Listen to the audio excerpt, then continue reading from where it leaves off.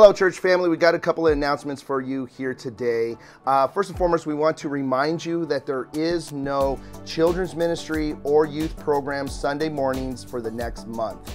Everything will resume again on July 21st. That's both junior high and high school Sunday school classrooms, as well as children's ministry, nursery, all the way up through fifth grade.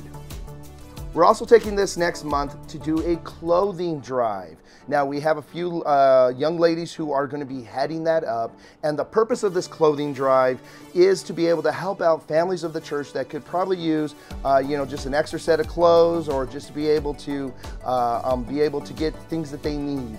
Um, what we're looking for is some slightly used or good clothes that you are looking at getting rid of please do not bring us yard sale stuff. This is not a yard sale collection. Do not bring us like cups and dishes and anything like that. Don't bring us sheets. Don't bring us, you know, bags of underwear that were used.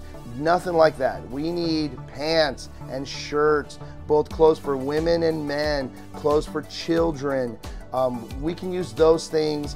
If you're thinking, well, the church can use this anyways, fight that thought. Don't do it just bring us clothes, all right? You can drop those off in the lobby. Uh, we'll have a big old bin that you can drop that off into or during normal business hours throughout the week. But if you have any questions, um, these young ladies right here you can uh, find and they will help direct you because they're the ones heading this up.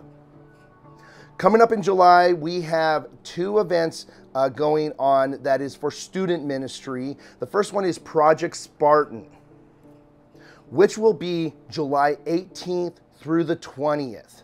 Now, this is for fourth through eighth grade boys only. We're gonna go camping. So if you wanna be involved, if you want your student to be involved with Project Spartan, go to the lobby, scan the QR code, get them signed up, get them signed up right away so we can go ahead and make sure we have uh, things planned. And if you have any questions, you can come find me and I will answer them to the best of your ability, to my ability.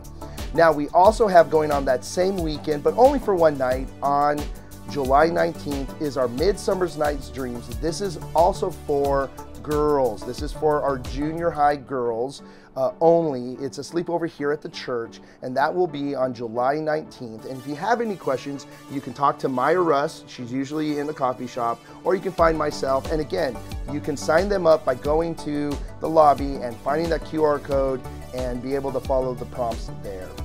Another event coming up here August 9th is if you like baseball and you love worship, we got Casting Crowns showing up for Faith and Family Night for the Arizona Diamondbacks when they verse the Padres. Come out for a baseball game and stay for a brief concert right afterwards. The cost is going to be $28 a ticket. And of course, you can scan this QR code to register or uh, see if you can find Sue Tyrell in the lobby. Other than that, you enjoy the sermon uh, this week, and uh, may God bless you.